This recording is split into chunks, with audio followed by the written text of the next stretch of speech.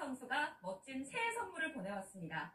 리그 12호 골을 새해 맞이 축포로 장식하고 팬들에게 신년 인사도 전했습니다. 하성룡 기자입니다. 손흥민은 우리 시간으로 어젯밤 11시에 시작한 본머스와 홈경기에서 전반에는 두 차례 좋은 기회를 놓쳤습니다. 한 번은 슛이 제대로 맞지 않았고 40m를 전력 질주에 때린 왼발 슛은 골키퍼 선방에 막혔습니다.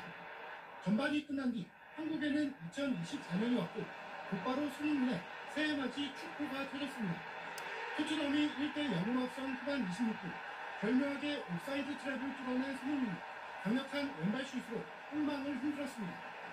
손흥민은 리그 12호 골로 득점 선두 홀란에 두골 뒤진 공동 2위로 올라섰습니다.